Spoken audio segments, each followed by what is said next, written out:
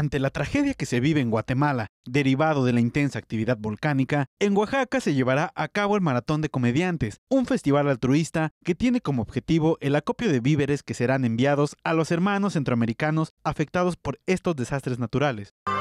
La verdad que esto es grandioso, grandioso porque es un hermanamiento de países eh, y de grupos eh, y de regiones y de de tanta, de tanta gente que hablamos el mismo idioma, tenemos las mismas costumbres.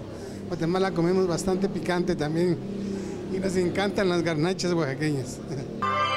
El evento se llevará a cabo el próximo martes 3 de julio en el Auditorio Guelaguetza y estará engalanado por la presencia del comediante Teo González, además de otros reconocidos humoristas como Alex del Castillo y Edmundo Miller. Cabe señalar que en representación de la comedia local acudirán Los Frijoles de Oaxaca, una tercia de artistas con mucha picardía y buen humor. No, pues estamos muy contentos de este, nos hayan invitado a este evento para ayudar a los amigos de Guatemala. Y vamos con toda la actitud, así como toda la gente que vaya, tiene que ir con actitud a pasársela bien. Y es muy importante decir que es familiar. Pueden ir los niños, la familia, las abuelitas, ¿no? Y no, traemos un show muy preparado para ustedes, muy bonito. Y traemos fonomímicas, traemos unas canciones ahí para que la gente se deleite con nuestro hermoso talento musical que tenemos, ¿va? Así es, claro que sí. Conozcan a los frijoles de la sierra, al Tepo, el Williams y Guadalupe. Estaremos con los grandes comediantes aportando nuestro granito de arena.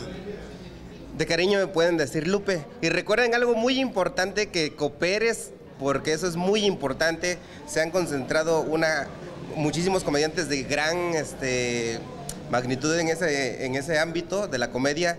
Eh, somos, ay, ¿qué te puedo decir? Lo mejor que hay en Oaxaca nosotros y vamos a estar junto con ellos y vamos a hacer todo un despapalle ese día. Para ingresar a este maratón, el acceso será libre y totalmente gratuito a todo el público, por lo que las familias que decidan acudir solo deberán llevar alguno de los productos señalados por el Consulado de Guatemala en una lista de víveres requeridos, sobres de shampoo, alimentos enlatados, agua embotellada, granos, materiales y herramientas para construcción, son solo algunas de las cosas con las que la gente puede apoyar. La verdad que el pueblo se levanta con mucha fuerza, así como se levantó México después del terremoto hace cuánto, 17 años, ¿no fue? Y, y, ahora pues está igual, levantando, así también el pueblo aguerrido de, de Mesoamérica siempre se levanta con todo, todo ahínco, ¿no? Muchas veces también ayudado por sus hermanos.